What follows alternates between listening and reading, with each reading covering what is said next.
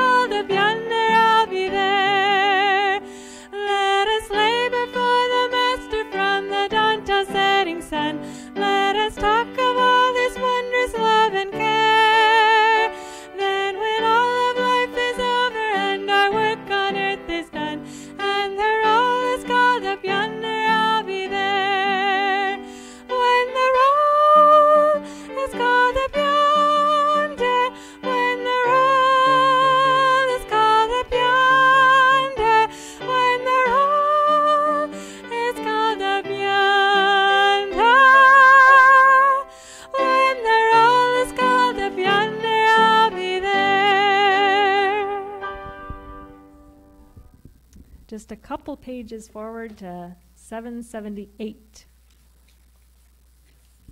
Sweet by and by.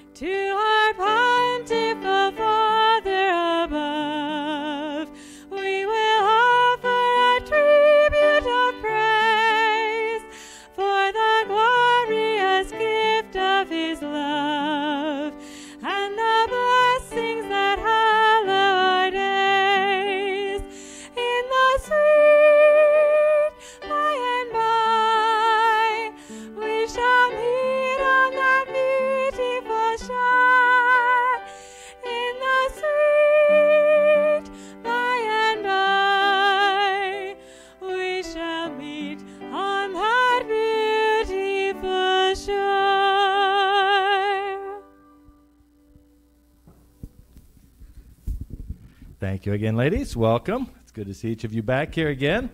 Uh, and just a reminder if you've been here five nights, be sure and pick up your Bible Promise book. How many of you have one of these now?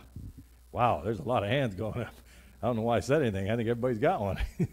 and then the Bible. I know some of you just got one tonight, and some of you have been looking at them, you enjoying it. It's a beautiful Bible, isn't it? And like someone mentioned me, Carol mentioned me, she said, you know, it works great to put in your car too, because it doesn't take up much space. And so you can always have a Bible with you that way. And then we want to remind you of the Strong's Concordance, you know, every word in the Bible in here, and, uh, and how to find it in the Hebrew and Greek if you want to know the original meanings of it. And that comes with 15 nights. And so we're halfway through tonight.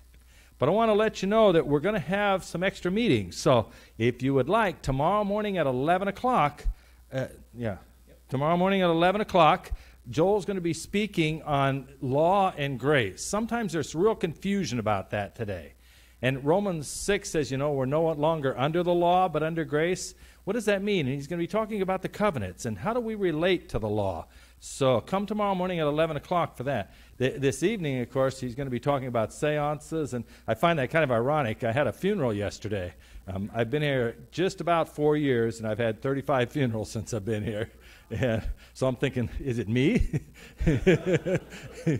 so it's interesting that you would talk about that, and so uh, I'm kind of anxious to see what you have to say, especially when we talk about, you know, there's a real rise in spiritualism nowadays, and the occult, and these kinds of things that are going on, and so you're just looking at a television lineup and the kind of programs they have. So it'll be interesting to see what he has to say. Now, Wednesday, when you came, we gave you an envelope, and you may have gotten one this evening. At the end, if you would like to, to drop it off, we're going to have an usher at the back, and this is for an offering. Now, again, you're under no obligation. We appreciate it if you can give, but if you choose not to or can't give, that's fine. No big deal. We aren't under any pressure at all, and so there will be an usher back there if you'd like to give an offering. At this time, we're going to continue on with our theme song.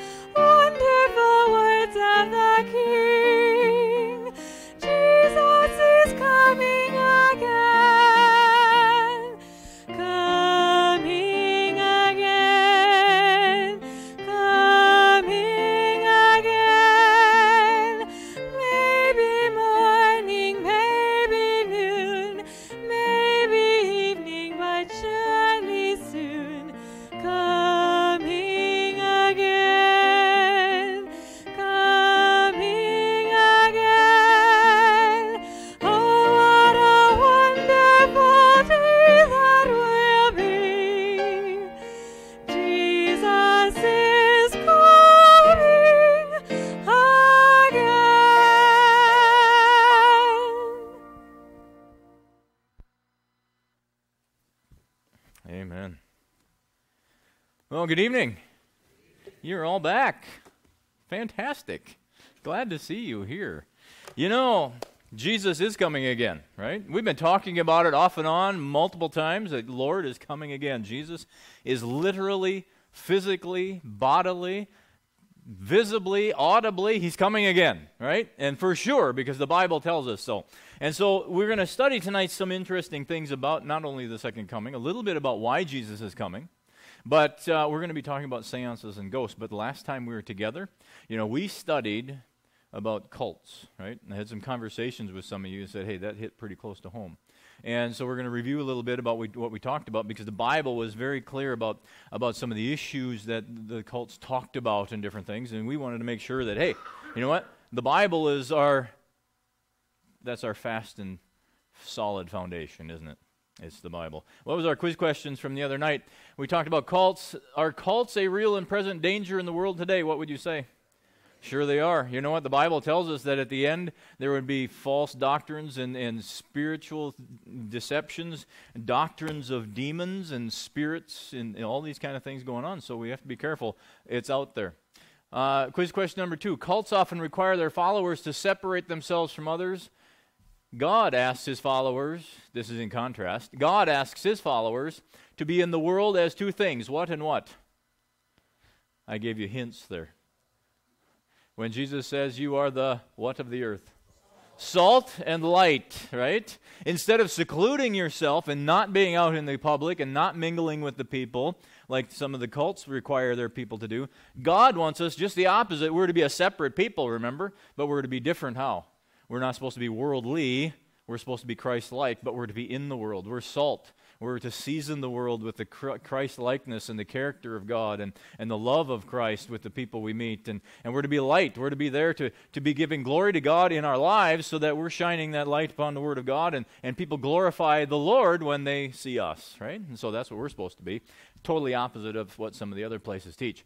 Quiz question number three What is our only safeguard against false teachers, false religions, and false prophets? The Bible. I had the hint, right? Did you get that hint? That's it right here. It's the Bible. The Scripture is your only safeguard. You can't depend on a person. You can't depend on some other book about the Bible. You have to depend on Scripture and Scripture alone. The Bible is your only safeguard to keep you from being drawn off onto, onto dangerous ground. And, and so we want to make sure we hold on to the scriptures the way that it needs to be held on to, which is firmly, right? And what did I say the other night? You need to read your Bible, you need to study your Bible, you need to pray before you do, and uh, keep reading it and keep studying it. You have to hold on to that. That's our important, important lifeline. Tonight we're going to talk about the Bible truth about seances and ghosts, which is the only truth that we want to know here, right? Is the Bible truth. Amen? We don't want to know some other truth. We want to know the Bible truth about everything we're talking about. So, before we begin tonight, because it's a very serious and, and desperately serious topic, um, I'm going to kneel. I'm going to ask the Lord to be with us. And I ask you to bow your heads and pray with me. Father in heaven, Lord, we thank you for another day Lord, that you've given each and every one of us not only the safety of the day, but you've provided for us. Lord, you've brought us here together this evening. Lord, to lift up your name in praise as we've done. Lord, to open your word as we're about to do. And so, Lord, we pray that your Holy Spirit would be here attending to our hearts and our minds, Lord, that your word would open up to us in understanding not only just of what your word says about these things, seances and ghosts and such, but Lord, what it says about you and your character and your love for us. I pray that you would move upon each and every one of us as you need to, that we would have open hearts and open minds for you to speak to tonight. We thank you for your presence here, for we know that it's here. We know you are here, Lord. Your, your word promises that where two or more are gathered, there you are in their midst. So we know you're here with us tonight, Lord, and we thank you for that promise. And so we stand firmly upon your word that says the Holy Spirit will be sent to lead us and guide us into all truth. And we thank you for your leading tonight. In Jesus' name we pray. Amen. All right. The Bible truth about seances and ghosts. So, question tonight Why is Jesus coming again? Why is he coming again? Now, the Bible gives us a couple of different reasons why Jesus is coming again. We're going to look at them this weekend. We're going to study why Jesus is coming again. A lot of it has to do with judgment. Okay? A lot of it has to do with judgment. But why is Jesus significantly coming again? Why is he specifically coming again? Look what he says in John chapter 1, verses 1 through 3. There the Bible says, Let not your heart be troubled. You believe in God, believe also in me. In my Father's house were many mansions. If it were not so, I would have told you. I go to prepare a place for you, and if I go to prepare a place for you, I will come again to receive you unto myself, that where I am, there ye might be also. Remember, a few nights ago, we looked at all those texts about the heart of God, and he says, Oh, I want to live among my people, I want to dwell among my people. And Jesus is saying, Look, I'm coming back so that where, you, where I am, there you can be also. I'm coming back because I missed you. I want, I want us to be together. Jesus is coming back so we can be together, right? He's coming because he wants us to be where he is at. That's one of the reasons Jesus is coming again. And the Bible tells us that Jesus, speaking here in Revelation 1:18, he says, "I am he that liveth and was dead, and behold, I am alive forevermore." Amen. he says, and have the keys of hell and death. Okay, so Jesus is coming back so he can be where we can be with him. And he says, I hold the keys of hell and death. Now, in, in some ideas, the devil holds the keys to which one of those? Hell, right? A lot of people think the devil holds the keys to hell. But that's not what the Bible says. Jesus holds the keys of hell. And he holds the keys of death as well. And you know, the idea about death, this whole idea about hell and death and and it's really become quite a thing in the world today. You know, this idea of spiritualism. I don't know if that's a term you know, but spiritualistic activities, seances, and, and, and, and, people hunting ghosts and talking to the dead, it's all the rage. I mean, the world is fascinated with it. Uh, you look on your television, you look on the sci fi channel, all it is is satanic things, right? It's all about witches and it's all about ghosts and it's all about dead people and it's all about zombies, which are undead or whatever they are, right? You know, they're made up. They got good makeup as well, but they are. And it's got all of this stuff and it's all about those who are dead or speaking to those who once were dead or ghosts coming back and haunting. And you go through the television and it's ghost hunters all over the place and mediums. This, this lady, this Long Island medium, it's one of the top shows in television she sits there and she connects with your dead relatives on television. And, and you have magazines galore that are channeled magazines. And you're what's a channeled magazine? A channeled magazine is when someone sits down and they claim that another spirit fills them and they write. They have no idea why they're writing it, what they're writing. This other being has come in, the spirit of a dead person. They're speaking to, they're channeling, and they come through them. Either they speak it and they write it down, or they just write it, automatic writing. And, and there's magazines, just that's all the magazines are, are channeled articles. Wisdom from the grave that you know people have died and gone on before us and now we can connect with them these these mediums and these psychics and these channelers they can connect with them and they, they connect with their mind whether they have ouija boards or what seances and all this kind of stuff. They connect and they say oh this is what the real wisdom is because you you know you're not yet enlightened you're still alive so when you die, that's when you become enlightened, and, and we're sharing with you all that knowledge. And so they're saying that when you go beyond the grave, now there's wisdom, and we're coming back to share with you all this wonderful wisdom that you can know, and we're going to share it with you. But is that really true? How do you know what is really truth? How do you know if that's true? Are we being deceived? Are you really, how do you know? What's your safeguard? This is our safeguard, isn't it? How do you know? Well, in order to understand it, to understand deception, who is the originator of deception? Does anybody remember? Satan was the originator of the deception because he was a liar from the beginning, the Bible says. We have to go back to Genesis to understand this whole topic. Genesis chapter 2, verses 16 and 17. We find the devil hanging around in a tree, right? He's a snake. He's, and Eve comes up to him, and he's speaking to Eve there in the Garden of Eden. And the Bible says, And the Lord God commanded the man, saying, Of every tree of the garden thou mayest freely eat. Is that what God said? That's in the Bible. That's exactly what God said. Of every tree of the garden you may freely eat. In verse 17 it says, But of the tree of the knowledge of good and evil, which is the tree the devil decided to hang out in, thou shalt not eat of it. For in the day that thou eatest thereof, thou shalt do what? Surely die. You eat of it, you're going to die. That's what God's words were. You believe God? I believe God. Thou shalt surely die. But the snake didn't say that. Satan came and deceived Eve, and he says this The serpent said unto the woman, You shall not surely die. So who do you believe? God or the devil? It's a simple question, right? If you're a Bible believing person, it's a simple question. You either believe God saying that if you eat of this tree, which means if you disobey me, really, is what he's saying, if you disobey me, because it wasn't in the fruit. You realize that, right? The, the, that knowledge, the tree of knowledge of good and evil was a beautiful tree. Beautiful tree, and the fruit was beautiful and luscious to look at. That's why it was tempting to Eve, because she saw it was good for food. It looked good, it was pleasing to the eyes. So it was a beautiful tree. It wasn't some ugly, gnarly looking dead tree. It was a beautiful thing. And, but it wasn't the fruit unless it was maybe avocado. No, avocados are good. No, it, it wasn't the fruit. What it was was the disobedience to God. The disobedience to God.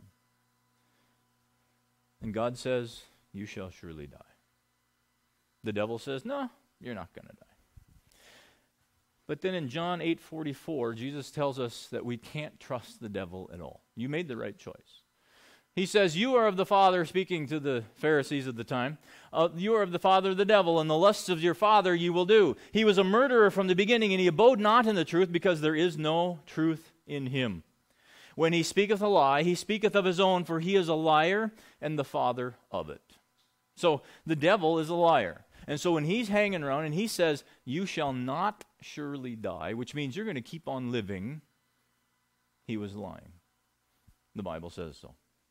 Genesis chapter 2, verse 7, we'll go back and we'll understand a little bit better. How do we understand this?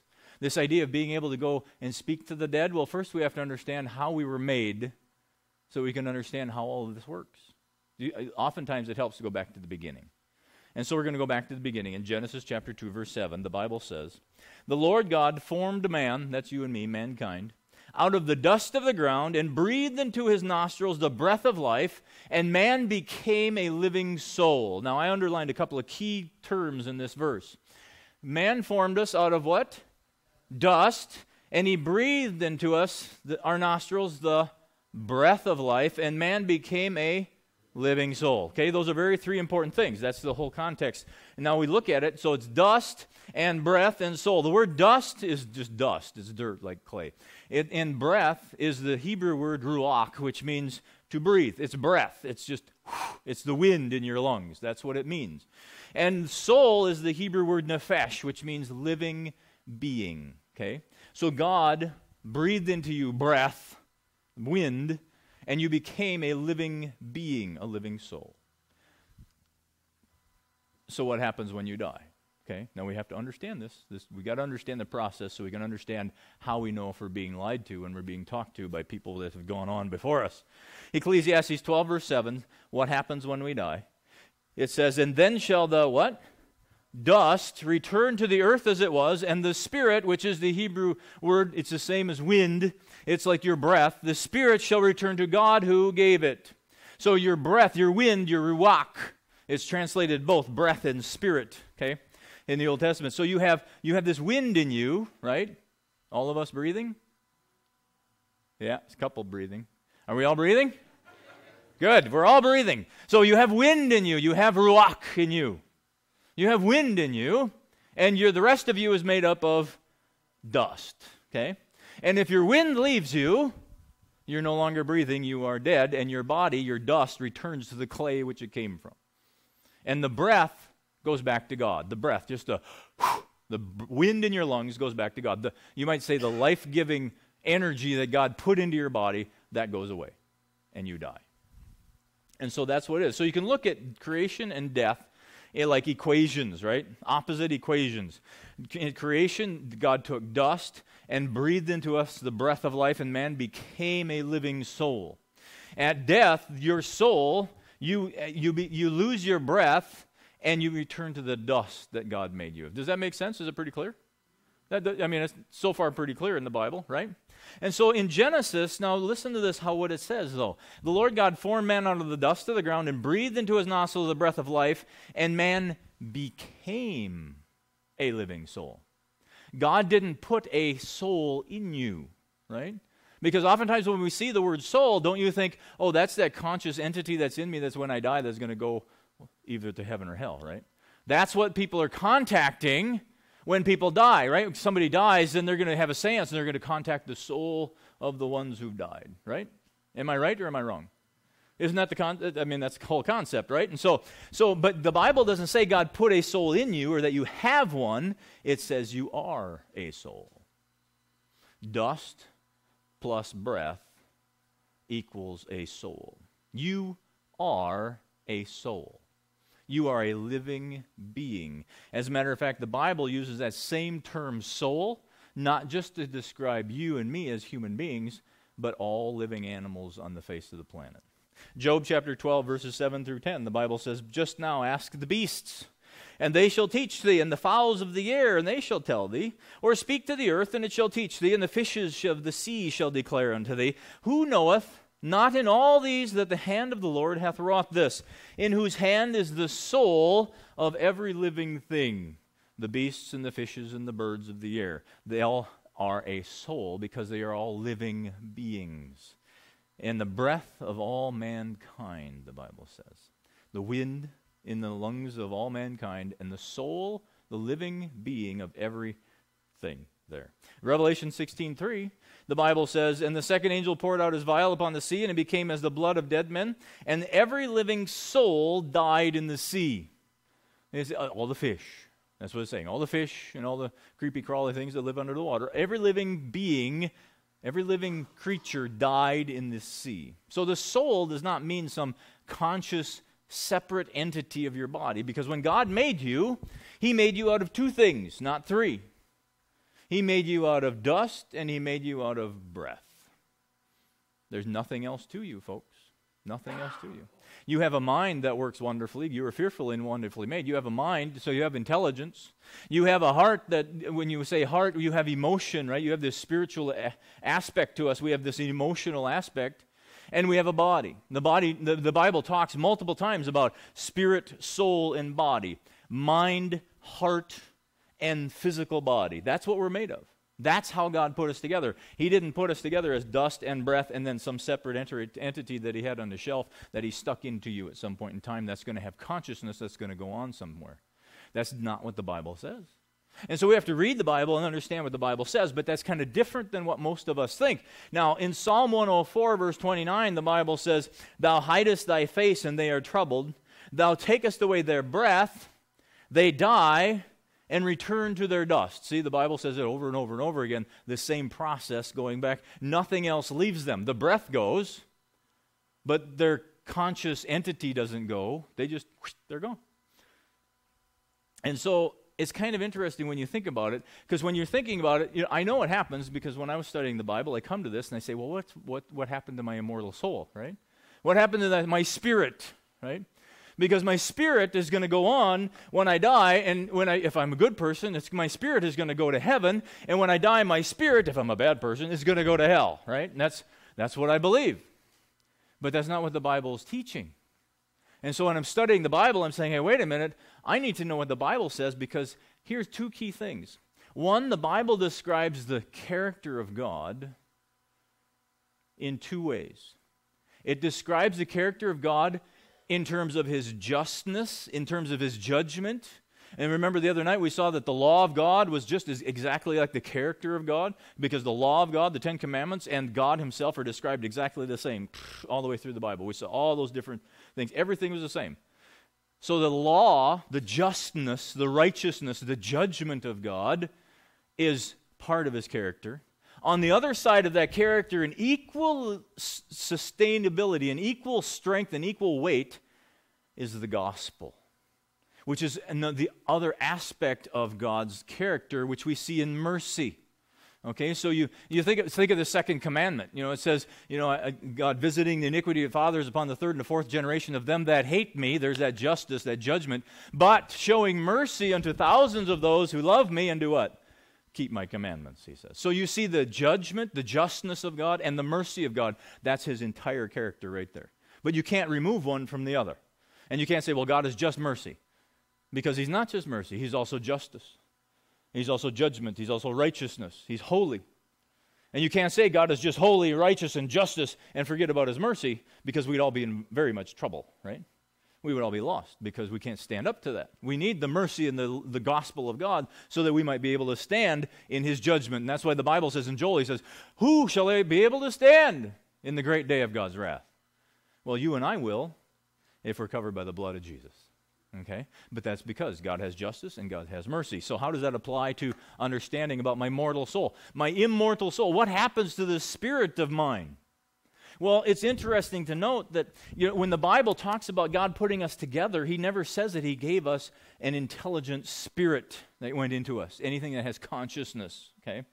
The Bible describes us as being dust and breath, right? Dust and breath. You might think of it this way you have a pile of boards over here, and you have a box of nails over here.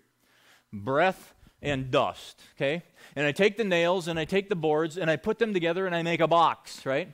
The box consists of the boards and the nails that hold the box together. Okay, so now when I'm done with the box, I take all the nails out and I put them back over here, and I take the boards and I put them over here. Where did the box go? Where did the box come from? It came from a combination of boards and nails. But when the boards and the nails are separated, the dust and the breath, where does the box go? It just isn't. It just isn't. Do I remember what the box looked like? Do I remember how many boards I used? Probably. Do I remember how many nails I used? Sure. Does God remember what you look like after you die? Does God remember how many times you've done this wrong and you've done that right and you've done this and He remembers you knelt down and asked Him to, and He knows all about your character? He knows every hair on your head. So when you die, you're just not. But God remembers everything about you because even right now, He knows the number of hairs on your head. He knows if you lost three or four in the comb today before you came here. And God knows everything about you. Some of you, He knows He doesn't have to count hair anymore, right? Praise God, right? You're making it easy on Him.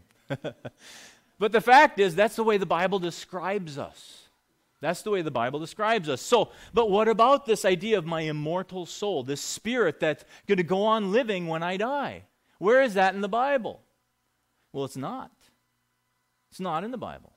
Over 1,600 times, the Bible refers to the word soul. Never once in all 1,600 times does it ever say that the soul is undying or immortal. It never says that. It never says that the soul is undying or immortal. Matter of fact, it's much, much different. You know, it's, it's not this idea. It's, it's the only time it uses the word immortal. Immortal is used only one time in all of Scripture. Here's the text in 1 Timothy chapter 1 verse 17. Now unto the king eternal, immortal, invisible, the only wise God to honor be honor and glory forever and ever. Amen. Speaking of God himself, the Bible says he alone is immortal. That's the only time the word immortal is used in all of Scripture. Now, immortality is used a few times. We're going to look at that. Immortality in 1 Timothy chapter 6, verses 15 and 16. There the Bible says, which in his times he shall show who is the blessed and only potentate, the King of kings and the Lord of lords. Who's he talking about? Jesus, right? King of kings and Lord of lords. He's talking about Jesus. Who, how, what's that next word? Only. Who only hath what? Immortality. Do you and I have anything in us that's immortal, according to the Word of God? Zip. Nothing. Oh, who only hath immortality, dwelling in the light which no man can approach, unto whom no man hath seen, nor can see, to whom be honor and power everlasting. Amen. So only God is described as immortal. Only Jesus has immortality. And, and so, you, getting the picture? You and I, we're not immortal. Matter of fact, the Bible tells exactly the opposite. In Job chapter 4, verse 17, it says, Shall mortal man be more just than God? Shall a man be more pure than his maker? Are you going to be more than your maker? Are you going to be equal to God? Of course not. He's your maker. Right? You're the vessel, he's the potter. He made you. You didn't make him. And so the Bible says, You are mortal. You and I, we are mortal means subject to death. Death, the term death, the definition is absence of life. You are subject to the absence of life. God is not. God is immortal. He's not subject to death whatsoever. You and I, we're subject to die. We're subject to death. We're mortal. Romans 6, verse 12 says, Let no sin therefore reign in your mortal body. So nothing changed from the Old Testament and New Testament there. We're still mortal. That you should obey it in the lust thereof. You have a mortal body. You have a body that if you do the wrong thing, you're going to kill it, right? You, you're going to die. And you are a living soul. You are a living soul, the Bible says. And you are mortal. Matter of fact, in Ezekiel 18:4, that's exactly what it says. Behold, all souls are mine, God says. As the soul of the Father, so also the soul of the Son is mine. The soul that sinneth, it shall what? Your soul's going to die. Why? Because you are a soul.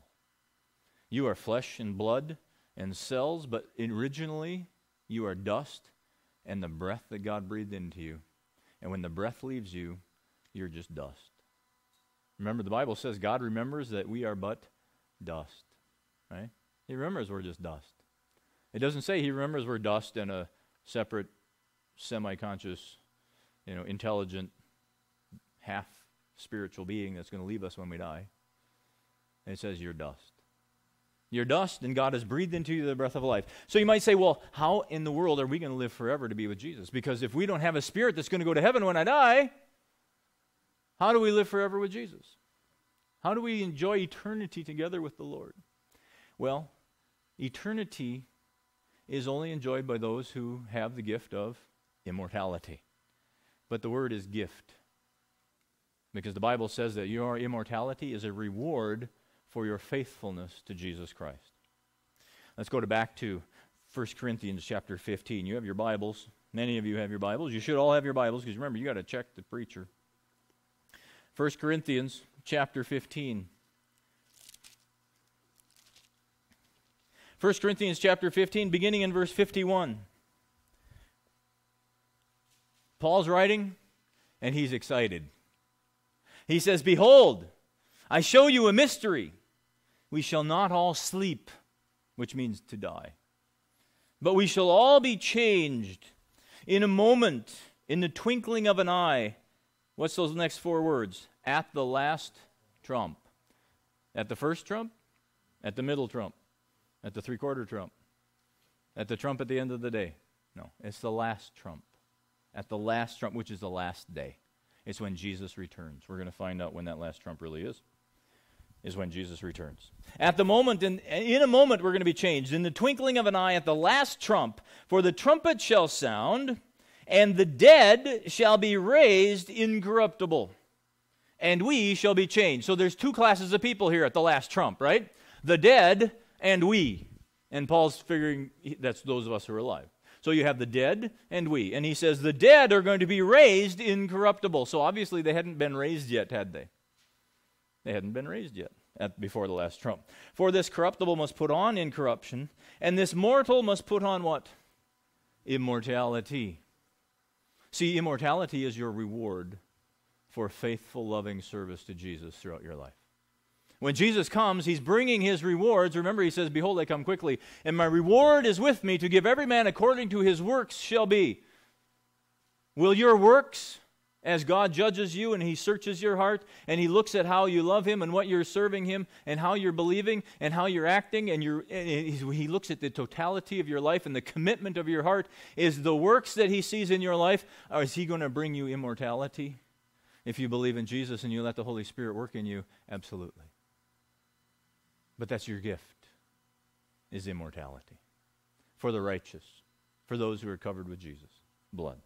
54 says, So when this corruptible shall have put on incorruption, and this mortal shall have put on immortality, then shall be brought to pass the saying that is written, Death is swallowed up in victory. O death, where is thy sting? O grave, where is thy victory? You know, oftentimes we think, well, if somebody dies, and then death is swallowed up right away because they, they go directly to heaven. But the Bible says on the last day, after we receive immortality, after we put on incorruption, that's when death has had its vic- has been victorious over. That's when death doesn't have anything to say anymore. It's at the last day. And so immortality for you and I is a reward from Jesus. It's not something you and I have today. Romans chapter 2, verses 5 through 7. Paul speaking, he's saying, looking forward, and we're seeking. What are we seeking for? He says, But after thy hardness and impenitent heart treasurest up unto thyself wrath against the day of wrath and revelation of the righteous judgment of God. So there's the wicked people. They got wrath coming. Who will render to every man according to his deeds. That's judgment. To whom by pa- patient continuance in well doing, that would be obedience, seek for, that's those of us who are looking for, glory, honor, and immortality. Why would we be looking for immortality if we already have it within us, right? The Bible says you don't have immortality in you. There's nothing in you that when you die is going to go on to be able to talk to anybody else. It's not going to be able to speak. It's not going to be able to do anything. Matter of fact, listen to how the Bible describes this. In Revelation 22 14, blessed are they that do his commandments, that they might have right to the tree of life and, and may enter into the gates of the city. Why do we need the right to the tree of life? If we're going to live forever when we die, if we have something that goes there, why do we need to, to go to the tree of life? Because we were once taken away from the tree of life. Why did God remove Adam and Eve from the tree of life? The Bible tells us. Genesis chapter 3, verses 22 and 23. And the Lord God said, Behold, the man has become as one of us, to know good and evil, and to now, lest he put forth his hand and take also of the tree of life and do what? Eat and live forever. So they needed the tree of life to be able to live forever. And so if now if we want to be able to live forever, that that immortality that Jesus is giving us, we have right to the tree of life after he comes, not right now. Not right now. Therefore God sent him forth out of Eden. So he sent him away. And so we don't have any immortal soul. We don't there's nothing in you. There's no soul being, there's no spirit being within us. There's nothing of that sort. That is spiritualism. Okay? We're going to show you that, literally, the spiritualism. You are made up of a mind that thinks, and you can reason.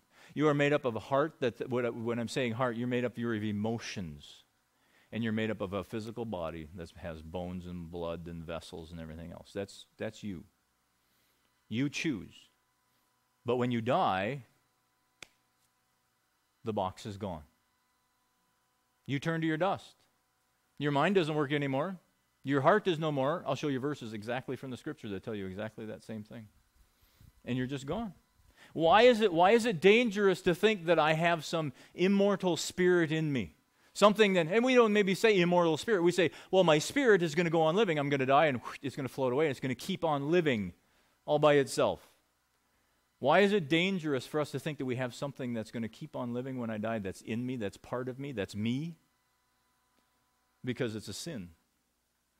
It's a sin. In Isaiah 14 14, the devil said, I will ascend above the heights of the cloud, I will be like the Most High. The devil wants to be just like God, except he doesn't want his character. He doesn't want to be pure and holy, but he just he wants his judge, he wants to glory and he wants to be the rule maker. But the devil likes to make himself just like the Lord, right? Just like God. You shall have no other gods before me. And he put himself in the place of God. And when we claim that we have something immortal in us, we make ourselves as who? God, because the Bible says that only God hath immortality. And when I start saying, hey, I am going to live forever, maybe not in this body, but I'm going to float away and live forever, whether it be in heaven or hell, or, or for the spiritualists and for the New Agers, they believe they're going to they're to leave this body and shed this shell, and they're going to be set free, and they're going to join the, the cosmic consciousness, and their spirit is going to go on. Or, or some of them believe that their spirit didn't it didn't make it to heaven, it didn't make it to hell, and it's kind of stuck in between. And so when you go into that old house on the corner of town and you hear somebody rattling around, that's Aunt Jenny, right? I mean, that's what people believe. But the Bible doesn't teach it at all. See, when I think I have something in me that's going to go on, I make myself just like God.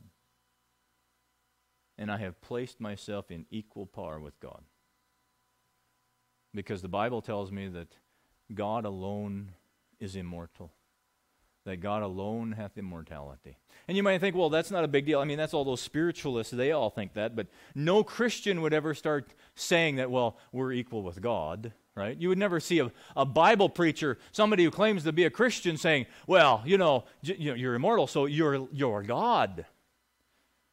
But that's the danger, folks, because that's what's happening. Benny Hinn says, Are you ready for some real revelation knowledge?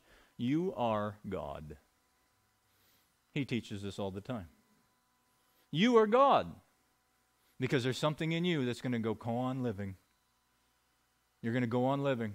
You are God. Matter of fact, he's not alone. Kenneth Copeland says the same thing. You don't have a God in you, you are one. He says, I say this with all respect so that it doesn't upset you too bad, but I say it anyway. When I read in the Bible where Jesus says, I am, he says, I just smile and say, Yes, I am too. He makes himself equal with God. Do you see the danger in holding on to a belief that is not scriptural? What happens is your doctrine gets skewed and it gets pulled aside, and you don't see it right away. You know what? Ten years ago, these men didn't preach this. But their doctrine has been shifting and changing and shifting because their mindset is that something in me is going to keep on living when I die. Well, that makes me immortal just like God, just like Jesus. And so if I'm just like Jesus, then I'm then I'm God. I am a God. I'm a little God. I may not be the creator God, but I'm a little God. That's a sad and scary doctrine, folks. We have to beware because our only safeguard is what the Bible really does teach. What does the Bible really teach? It doesn't teach New Age spiritualism, which is exactly what they were teaching. The New Agers, the Kabbalah, you can become God. You can, you can exalt yourself and you can transcend and become God. You are a God. That's New Age spiritualism. It's occultic, it's not Christian. You, you, because they believe that because they believe they have a spirit that's going to go on living forever. Even when they die and this body turns to dust, their spirit is going to go on and live forever. They believe this because they believe that. And we have the same things happening in the Christian church. The danger is when you're speaking to somebody who says, Well, I spoke to somebody who died years ago. I was speaking to, you know, the the spirit of of, you know, I don't know, pick somebody famous, right? President Lincoln, Mary Todd Lincoln, or who was it not long ago? They it was in the White House and they were having seances so they could talk to dead presidents' wives. I can't remember who that was not too long ago. I mean, your rulers are going after seances looking for dead people to speak to them so that they can run the country. That's spooky, friends. That's spooky. Because the Bible says something very, very distinct about it. Take a look in Deuteronomy chapter 18. Deuteronomy chapter 18. You understand? We read this a little while back. I told you this is why God condemns this type of thing. Genesis, Exodus, Leviticus, Numbers, Deuteronomy, fifth book of the Bible. Deuteronomy chapter 18,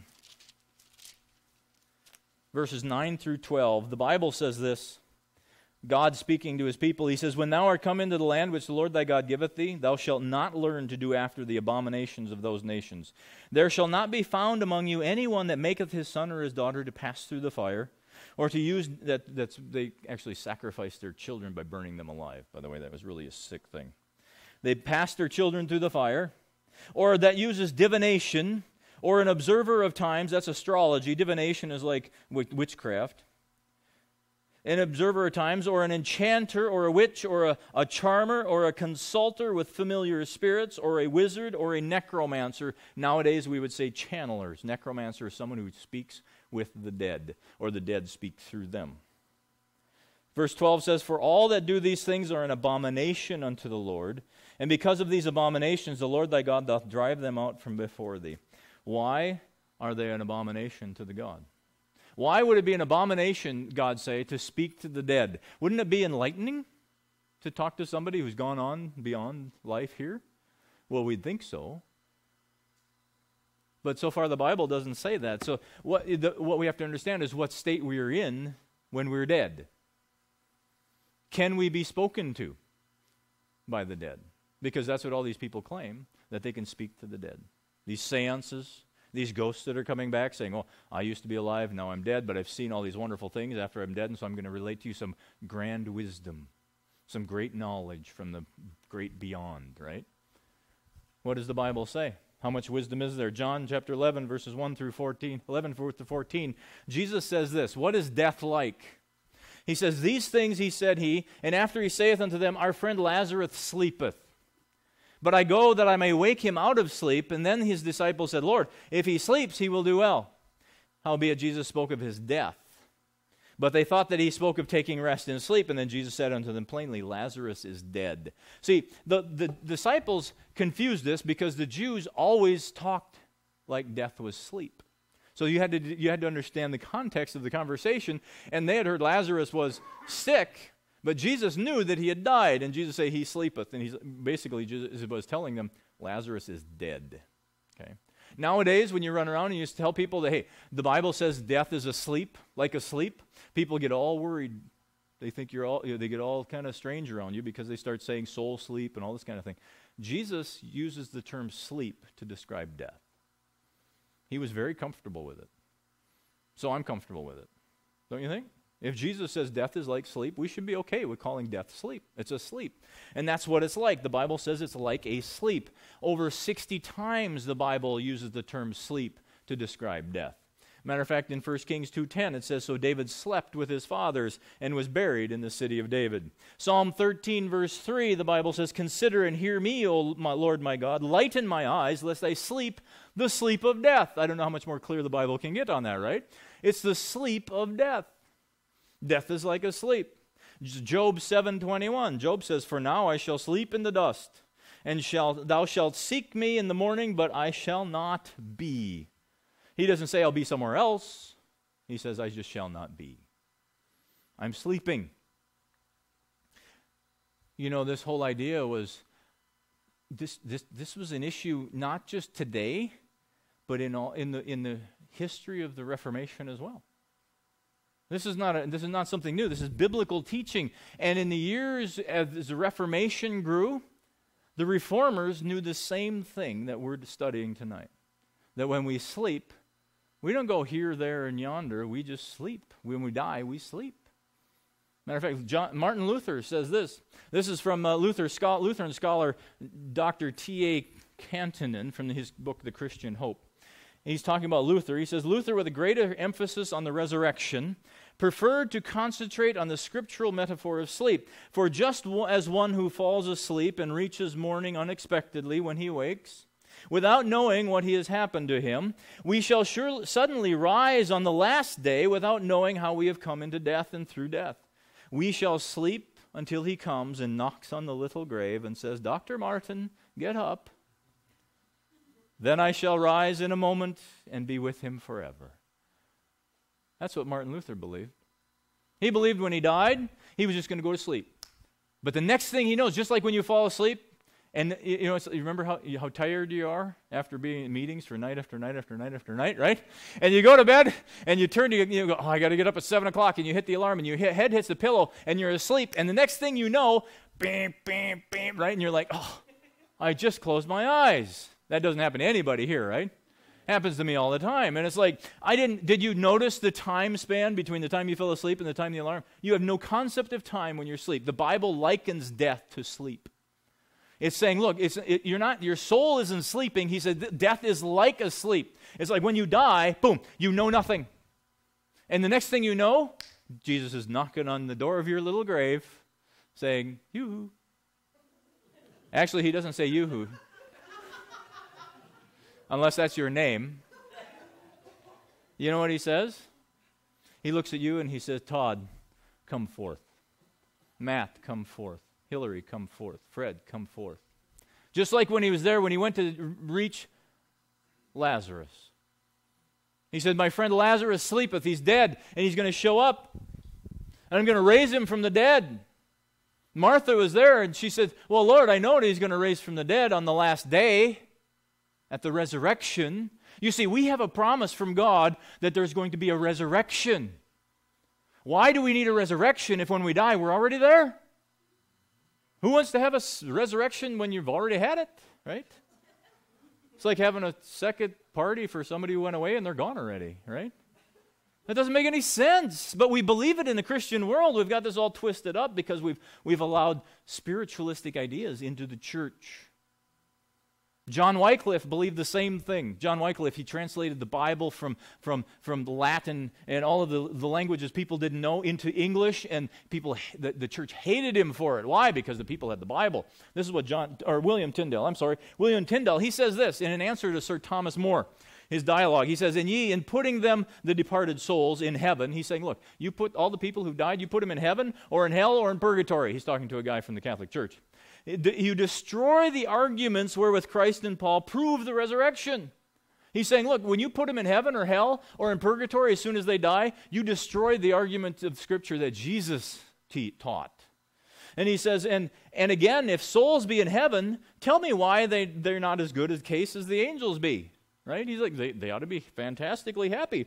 And then what causes there of the resurrection? Look, if you're already in heaven and you're fantastically happy, why, why, have to, why does God have to drag you back down here and dig you out of the dirt again? It's not, it's not, it's not legitimately in the Bible. He says the true faith putteth, which means he sets forth the resurrection. We put forth the resurrection. God has promised the resurrection, which we be warned to look for every hour. The heathen philosophers, where did they get the idea? The, the idea that they go directly to heaven or hell or purgatory came from the heathen philosophers.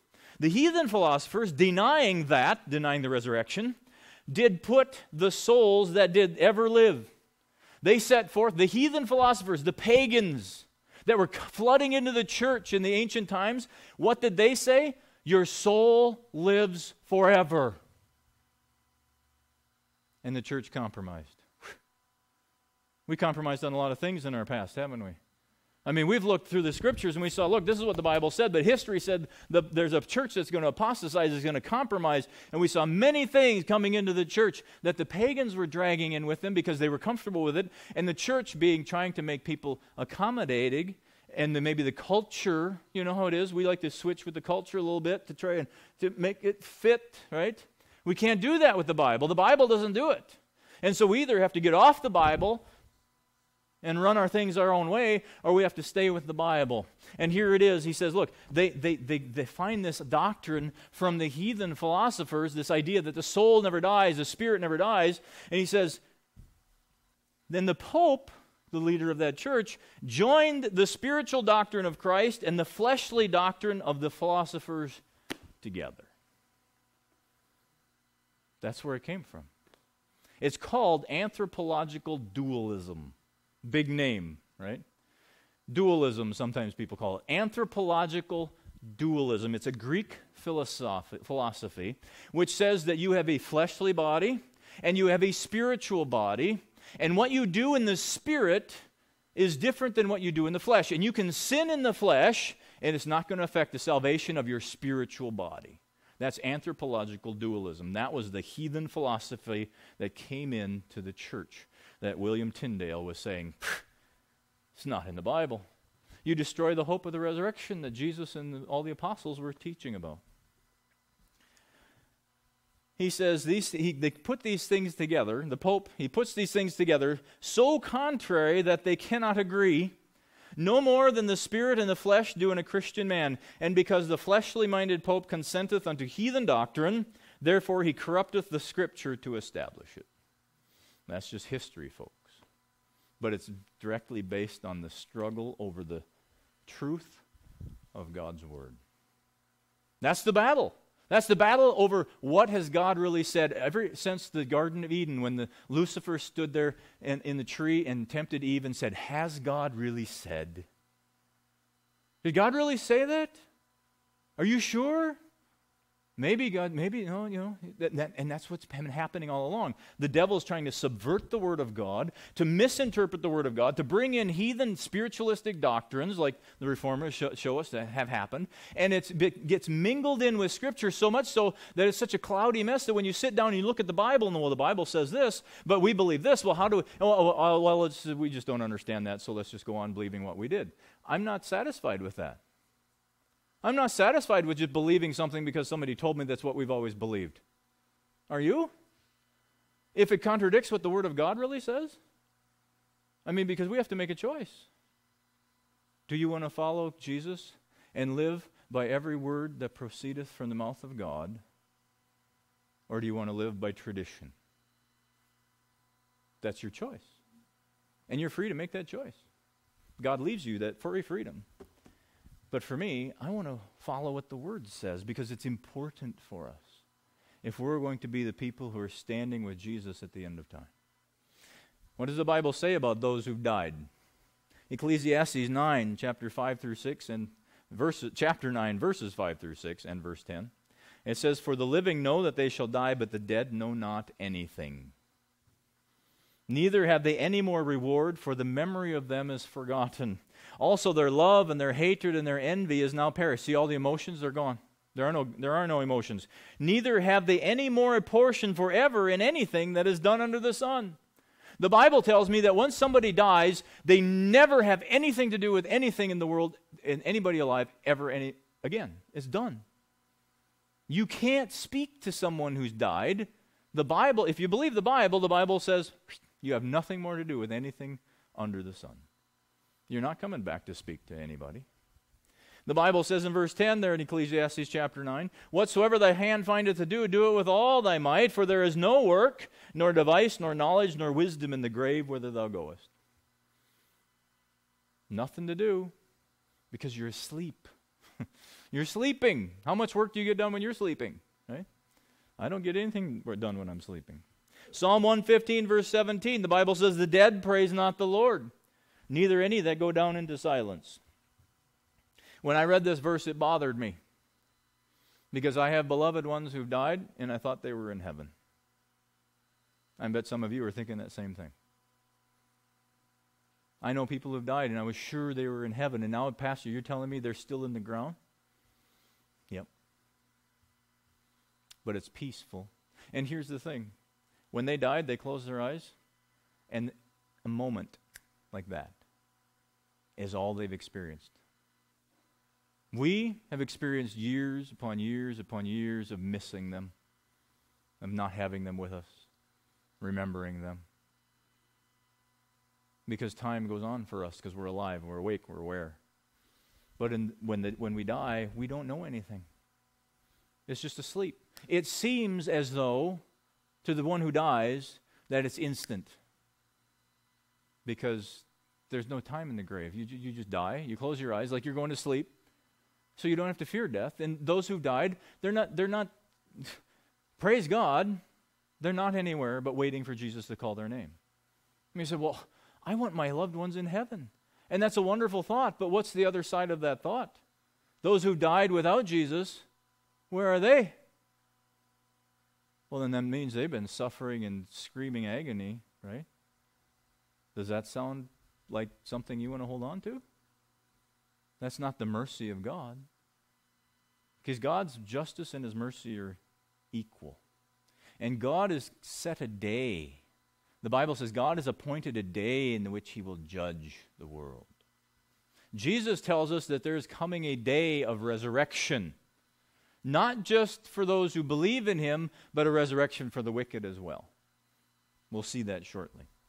So when we say, look, the dead praise not the Lord, there, no, nobody's gone to heaven directly, and no one's gone to hell directly. When we die, we sleep. We just rest. It seems to us, if, we die, if I died today, it would seem like that, and Jesus would be calling my name. Same for you. But if I die today, and the world goes on, and Jesus doesn't come for another 50 years, then the rest of you who are alive and remain for 50 years are not going to see me for 50 years, and it's going to seem like 50 years to you. But for me, like that. For Adam, who died some 5,000 years ago or so, or maybe a little more, for Adam, it's for us it seems like, man, Adam, I don't even is he really real? I mean, it's been so long ago. For Adam when he died, and Jesus is calling his name. And all of this was for him didn't happen. It was just like that. And so it's, it's instantaneous for us when we die, but when we're alive, we miss them. But that's what the Bible teaches. Psalm 146, verses 3 and 4, the Bible says, Do not put your trust in the princes or in the Son of Man, in whom there is no help. His spirit departs, he returns to his earth, that's his breath. His spirit departs, he returns to his earth, and that very moment his thoughts perish. See, there's no consciousness after you die. No consciousness. John chapter 11, verses 23 and 24. What does Jesus teach? Let's Jesus said unto her, speaking to Martha, remember, Thy brother shall rise again. And Martha answers him and says, I know that he shall rise again in the resurrection on which day? The last day. Remember when we receive immortality was at the last trump. The last day. She didn't say, Well, I know he's, he's going to rise again. He, he's already risen again. He's been dead for four days, right? If, he, if, if they believed, if Jesus had taught and said, Hey, well, when he died, he, he went to heaven right away. No, she said, no, he's going to rise up again on the last day. That's when the resurrection was promised. The promised resurrection wasn't the moment you die, it's when Jesus returns. So if Jesus doesn't raise anybody up until the last day, and the dead who die are asleep and there's no wisdom in the grave, then when these people say they're channeling, these are very common, very popular channelers today. JZ Knight and Benjamin Creme, millions of followers. Millions. They channel ancient beings. JZ Knight channels some guy named Ramtha, who lived some, you know, he's from, he's some, where was he? Atlantis, right? That's where he's from. and he has all this wisdom. And you know what he says?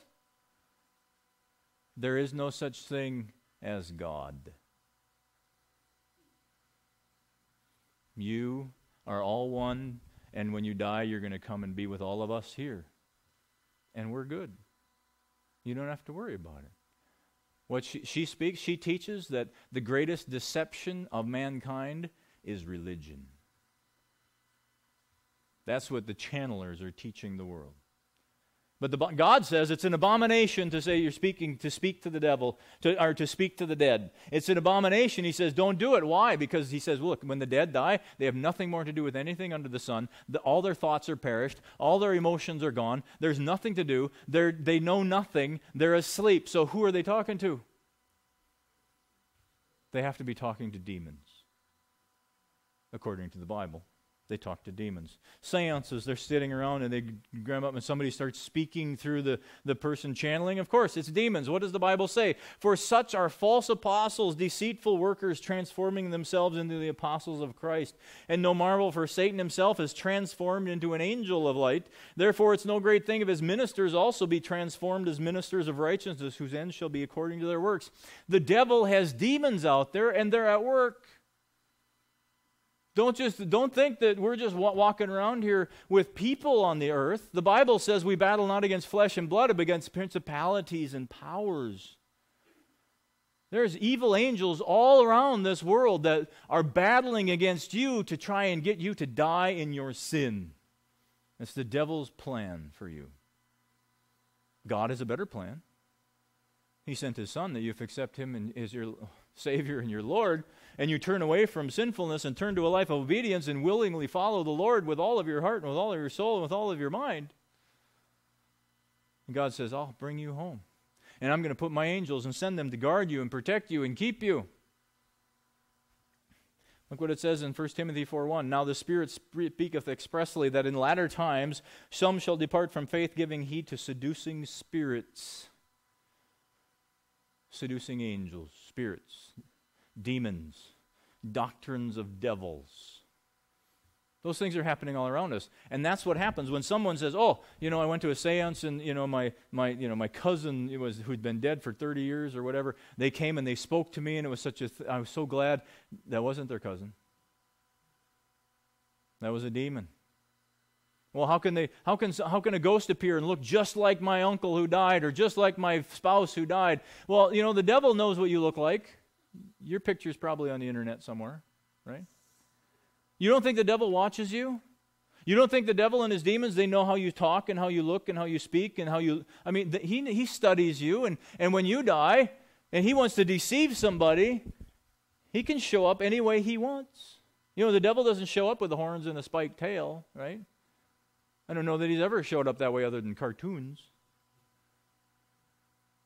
But he shows up in whatever way is going to deceive you the best.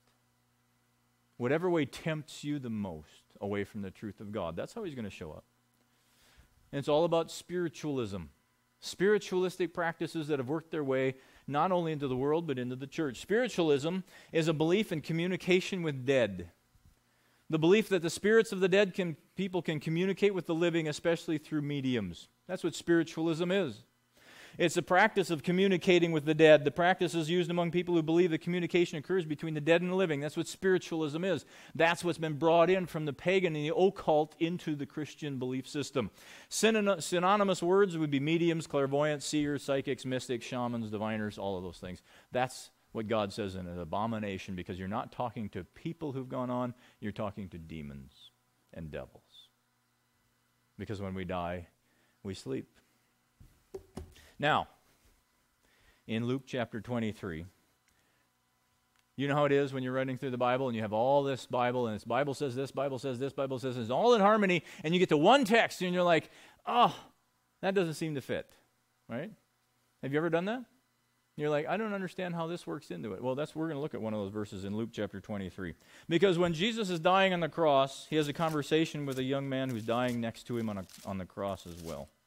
In Luke chapter 23, Jesus says some very famous words. Luke 23 and verse 43. And Jesus says unto him, Verily, verily, I say unto thee, Today shalt thou be with me in paradise. And I'll have people come up to me and say, Well, you know, preacher, Jesus said that that thief was going to be with him that day in heaven. He's going to be with him that day. So obviously, when he died, as soon as he died, his spirit went to be with the Lord in heaven. And I say, well, that's fine if you look at that verse alone, but what about the rest of the t- Bible text? What about the rest of the Bible? Does that mean that Jesus, when he was speaking through the Holy Spirit, writing the rest of the Bible, that, that he was wrong? Does that mean that the Apostle Paul said later on, after Jesus rose again from the dead, said, you know, well, no, it, it doesn't matter because the, you're going to be, receive immortality at the second coming, at the last trump? So, how do we understand this verse? Right? Because it seems as though Jesus is saying something in total contrast to everything that the Bible has said so far tonight. Does it, right? I mean, it does to me when I read it. So let's take a look at it. When Jesus died, he says, he says here that today you shall be with me in paradise, right? So let's take a look at another text in John chapter 20. Take your Bibles and turn over to the Gospel of John chapter 20. We're going to look at the day when Jesus arose here. We're going to look at two verses, actually. The first one is in John chapter 20, verse 1. It says, In the first day of the week, which day is that? Sunday. When day did Jesus die? Friday, right? We, Jesus died on Friday. He was in the grave on Saturday, and he rose up on Sunday. The first day of the week cometh Mary Magdalene early, when it was yet dark, unto the sepulchre, and seeth the stone taken away from the sepulchre. She goes running around. She wants to see, she thinks Jesus has been stolen, his body. But in verse 17, as Jesus sees her and she recognizes him, this is what he says to her Touch me not, for I am not yet ascended unto my Father. But go to my brethren and say unto them, I ascend unto my Father and to your Father, and to go and to my God and your God. He says to, he says to her, Don't touch me. I haven't yet gone to the Father. I've been in the grave, but I haven't yet gone. I'm going to go. He says, I, I ascend there, and then I'm going to come and meet him. So Jesus died on Friday. He was in the grave on Sabbath. And Sunday morning, in that first week, day of the week, when he rose, Mary Magdalene came to him and he said, I have not yet gone to heaven. But he told the thief that that day he would be with him in paradise. So we're really in a mess now, aren't we? Because Jesus didn't go to heaven on Friday when he died. He didn't go to heaven on Saturday when he was dead. He, he, he didn't go to heaven until Sunday morning. So now we've got, we've got, we're totally confused. So, how, how do we rectify this scripturally? Because the Bible tells us, everything we've read in the Bible says when that thief was going to die, he was going to fall asleep and he was going to not know anything and he's going to stay sleeping until Jesus calls his name on resurrection day, right? That's what the Bible has been teaching. That's the promise for all of us who are believers that Jesus will raise us up on the resurrection day. To go back and look at that verse Assuredly I say to you, today you will be with me in paradise. Now, let me tell you a thing about the scriptures. When the Bible was written, there wasn't one piece of punctuation in the Bible. There are no periods, there are no commas, there's no quotation marks, there's no verse numbers, there's no chapter numbers. It was just all script. We put chapters in. Oftentimes, you've ever been reading a chapter and it seems like the chapter stops and you start the next chapter and it seems like, oh, it seems like that goes with the chapter before.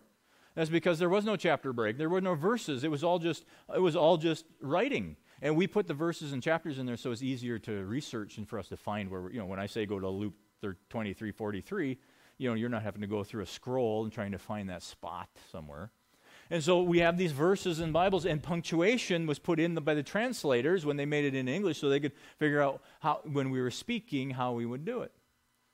But depending on where you put punctuation makes a huge difference in writing, right? It does. Take a look at this a simple statement. A woman, comma, without her man, comma, is nothing. But if you move the comma in a different place, it says a woman without her man is nothing. Completely opposite meaning, is it not? I mean, I mean that's just a simple example, but the comma makes a huge difference, doesn't it? I mean, here it, it changed the meaning of the of the sentence completely on its end. Totally different. So if we look at the verse in Luke where they put the comma, and we say, Assuredly I say to you, comma, today you will be with me in paradise. It doesn't match anything else in Scripture. It doesn't match when Jesus went to heaven. It doesn't match any of the text that the Bible says what happens when we die. And so we're totally confused because Jesus said that he's going to come back to receive us unto himself, that where he is, there we might be also at the second coming. That's when he's coming to get us to be with him in paradise. So, so that doesn't make any sense. So this one verse is just like totally out of the blue, off in left field, doesn't make any doctrinal, scriptural sense with the rest of the Bible. But if we move the comma one space over, or read it without a comma, take your pick. Assuredly, I say to you today, you will be with me in paradise. You see how it makes a difference? Jesus is saying, look, today I'm hanging on this cross. But this young man had already looked at him and said, Hey, he hasn't done anything wrong. He doesn't deserve to die. And he looks at him and he says, Lord. He recognized Jesus as the Savior and the Messiah to come. And Jesus is hanging on the cross in looks like defeat. In the most embarrassing, most disgusting way to die. It was the, it was the criminals, it, it was a bad way to die. It was an unclean way to die. He was, he was made sin for us. Shame on me. He was made sin for us. And he's hanging on the tree in apparent defeat. And he looks at this young man who just recognized him as his Savior and he says, I, you will be with me in paradise. I'm saying to you today, even though I look like I'm defeated, this is a victory. This is a victory for you. Because anybody like you who looks at me and sees the Savior is going to be with me in paradise. That's the meaning of that verse. And that's the only way it fits with all of the other scripture. It just means that the guy who was writing it slipped the comma in one word too early. Doesn't mean that the word of God is not inspired. It just means the comma wasn't inspired. That's all. There's another verse in the Bible that has an issue. Sometimes because people will say, well, if we die, it's better for us to be present with the Lord, right? So it says in First, Second Corinthians 5, verses 1 through 10, it says, we, say, we are confident, I say, rather willing to be absent from the body, present with the Lord, right? Let's take a look at that real quickly. 2 Corinthians chapter 5. 2 Corinthians chapter 5. I want you to look, remember, we take all the context, we take all the verses of the Bible, right? All the verses about a topic, and so we've been taking as many verses as we possibly can in the limited time that we have regarding the idea of what happens when I die, what state I am when I'm dead, why shouldn't I be speaking to the dead people? And we've come across all of these verses that are all synonymous, they're all equal, except now we've run into this one in 2 Corinthians chapter 5 verses 1 through 10, which seems to say that when I die, I go directly to be with God. And it, honestly, there's only one or two texts in all of Scripture that give any other indication that what the rest of Scripture says isn't true. And so we have to look at the weight of Scripture. We've got all these texts about the Bible that says when you die, you sleep, you don't know anything, you're not going to raise up until Jesus comes and gets you at the last day. And then you run into a text here and a text there, and you, a lot of people will hold two texts here and 55, 65 texts here and say, you know, uh, these 65 texts, that, we're going to do away with those. We're going to hold on to these two. It doesn't work that way. It doesn't work that way. So what does the Bible say here in 2 Corinthians chapter 5 verses 1 through 10? This is Paul speaking, teaching to the Corinthians. We've, he's already taught the Corinthians. We're going to look at that earlier. For we know this, know that if our earthly house, that's our body, of this tabernacle were dissolved, which means we die, we dissolve. We have a building of God and house not made with hands, eternal in heaven. Once God comes and gets you, the Bible says this mortal is going to put on immortality, this corruptible is going to put on incorruption. We get a glorified body. God's ready to give you that when He comes, but we don't have it yet. He's saying God's got it ready for us. For in this we groan, this earthly house, this body, earnestly desiring to be clothed upon with our house which is from heaven. Don't you want to go to heaven? Paul is saying, Look, I'm earnestly desiring to be with God. I would love to be with Jesus. And me too. I mean, I was praying today with a friend of mine. I said, Lord, come quick. I'm so tired of the junk that goes on in this world and the chaos and the confusion and the pain and the suffering. I want him to come. I want to go be with the Lord. I'm tired of this world. Paul's saying the same thing. Verse 3 so if that if be if so if so be that being clothed we shall not be found naked for we that are in this tabernacle do groan, being burdened, not for that we would be unclothed, but clothed upon, that mortality might be swallowed up of life. Now, that's an important statement because Paul has already taught the, these people about when mortality will be swallowed up with life, right? We're going to look at that in just a moment. So he says, there, swall- mortality is going to be swallowed up with immortality. Verse 5 says, Now he that hath wrought us for the selfsame thing is God, who hath also given us unto this etern- earnest of the Spirit. Therefore, we are always confident, knowing that whilst we are yet at home in the body, we are absent from the Lord. If you're here alive, we're absent from God.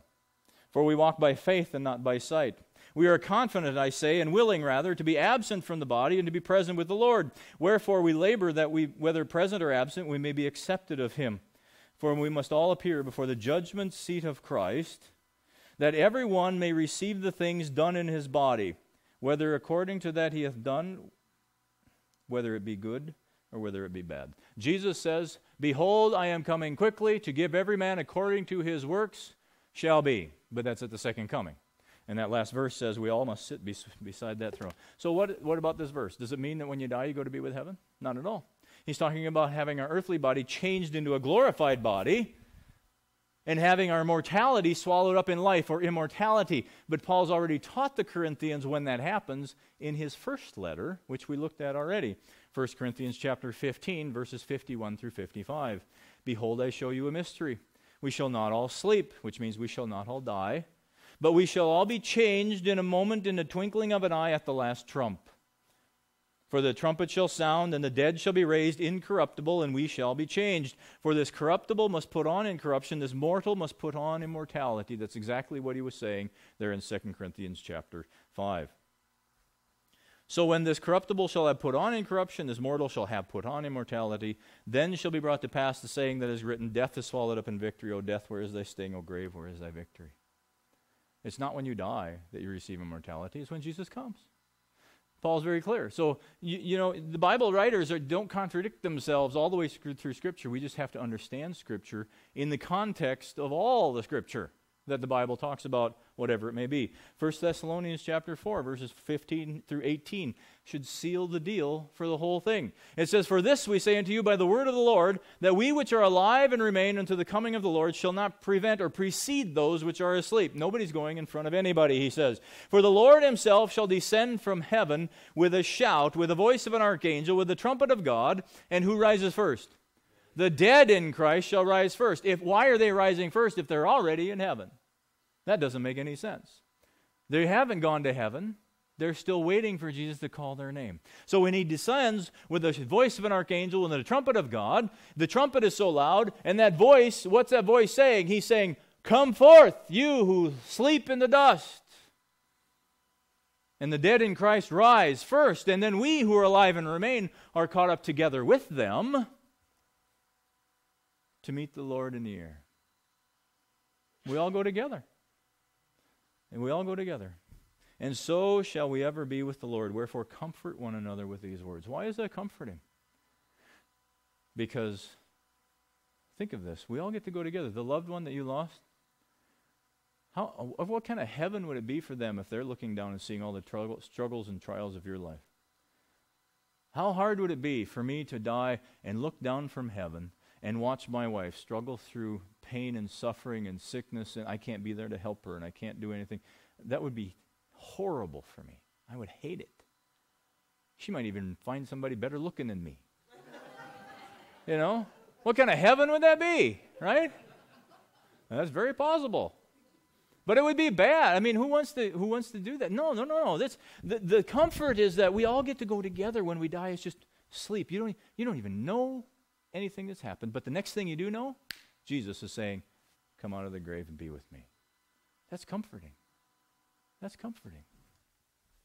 John 5 28, Jesus says, Marvel not at this, for the hour is coming in the which all that are in the grave shall hear his voice and shall come forth. They that have done good unto the resurrection of life, and they that have done evil unto the resurrection of damnation. There are two separate resurrections in the Bible. Not just one, there's two. We're going to study those tomorrow night. Two resurrections in the Bible. So Jesus says, look, we have a promise of resurrection, but you know, the wicked have a promised resurrection too.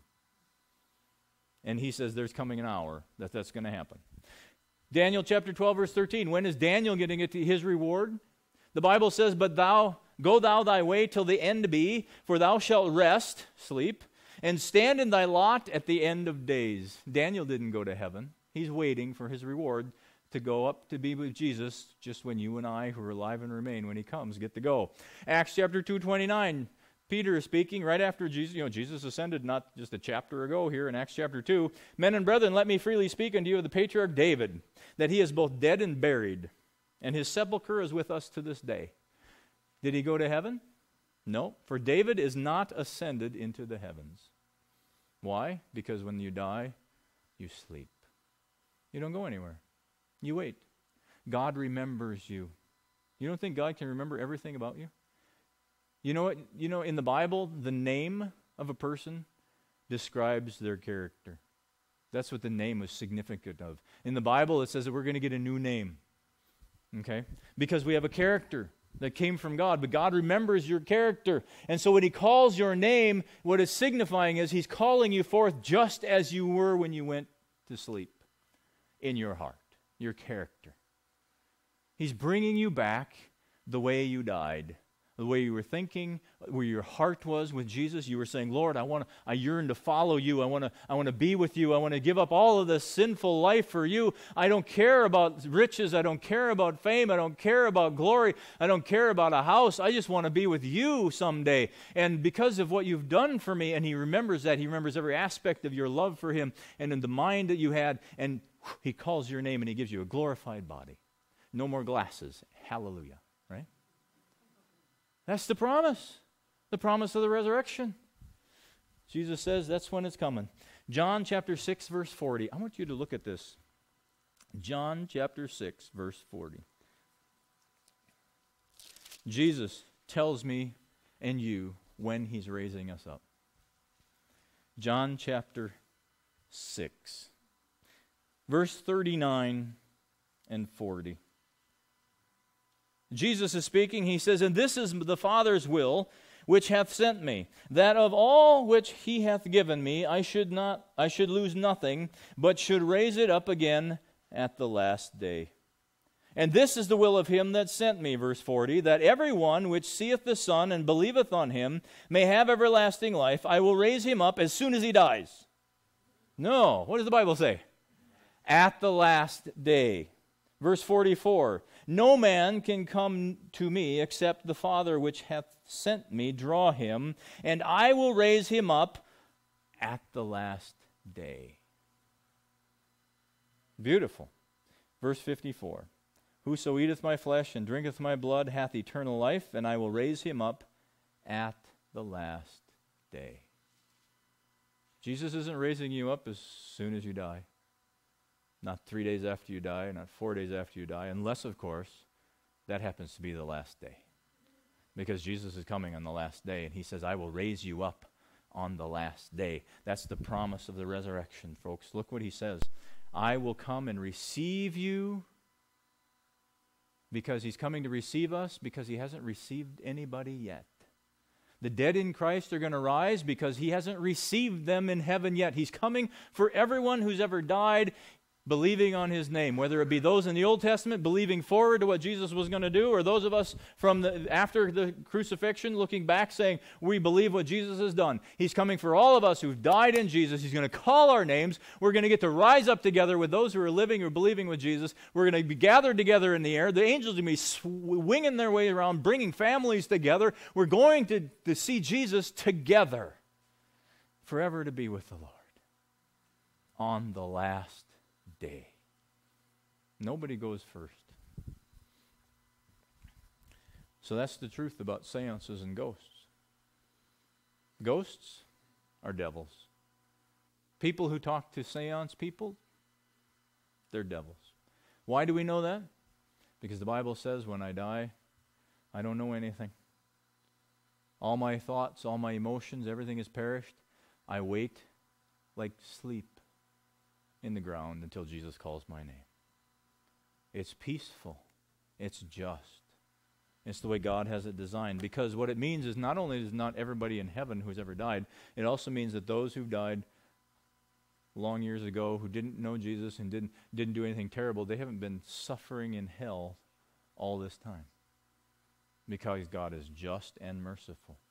We're going to study that the next two nights. We're going to show you very, very distinctly the mercy and the justness of God. we had to understand this so we can understand the judgment of God. And so as we leave tonight, remember that God has a truth of His Word. And we need to follow the Word wherever it leads us.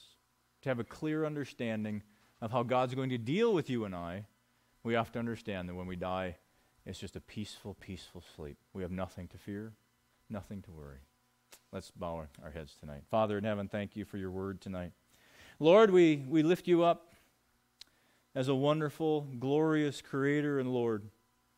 Lord, you know everything about us. You know our worries and our thoughts and our desires, our, our disappointments. Lord, you know every hair upon our head. And Lord, you promise that one day you're going to remember us. You're going to remember that we have faithfully loved you and served you and lived for you. And if we perhaps die before you come, you are going to call our names and we're going to hear you from the grave. And we're going to be raised up incorruptible. And you're going to give us the gift of immortality so we might live and reign with you. Oh, Lord, we look forward to that day. Lord, tonight I pray that as we ponder the words of your scripture, that you Lord, would fill us with your Holy Spirit. Give us, give us the wisdom from on high. Lord, let your word be our final answer for our faith. Let it be the safeguard we need to keep us on that narrow path that you said that we would have to walk on. Watch over us tonight, Lord. Be with us. Protect us. In Jesus' name we pray. Amen. Tomorrow night we're going to talk about the thousand year millennial period. Okay, the thousand year millennium. And so tomorrow night, that's what we're going to talk about the thousand year reign. Everybody talks about the thousand years. It's going to be a wonderful time on earth and this and that. We're going to look at the Bible, see what the Bible actually says about the thousand years. It ties into exactly what we've been talking tonight. And then the night after that, we're going to be talking about the death of sin. The death of sin. Now, tomorrow morning, as the pastor mentioned, I'm going to be preaching a, a, sermon on, on God of grace or God of law. We're going to look at the two covenants, Old Covenant New Covenant. And we're going to look at Romans chapter 6, verses 14 and 15, where it talks about the fact that you know, the Bible says you are no longer under law, but you are under grace. And so we're going to study that. What does that mean? What, what changed at the cross? We're going to find out that we're going to look at it very, very intensely tomorrow morning. So you don't want to miss that. If that's a thought in your mind saying, "Hey, we've got an, we got different covenants, we got to let's look at it what the Bible says tomorrow morning." We're going to study that very closely. So I hope that you all come in the morning. You, you, know, you can come in the morning and then we eat in the afternoon and we come back in the evening, so we can just kind of spend all day together, right? You know, I mean, it's just it's good that way. We can do that. And and many of you who said, you know, I'd really like to experience the Sabbath of the Lord, you know, you're welcome to worship with us tomorrow morning because it's the Sabbath today. Uh, the sun is down and it's now the Sabbath of the Lord. And so come and worship with us in the morning and, and take part in another part of the series. So when you leave tonight, remember, you can go from this place, but you can never go so far to be beyond the reach of God's love. He loves you, He cares for you, He's always loved you. God bless you all and good night. And the ushers are at the door if you have an offering.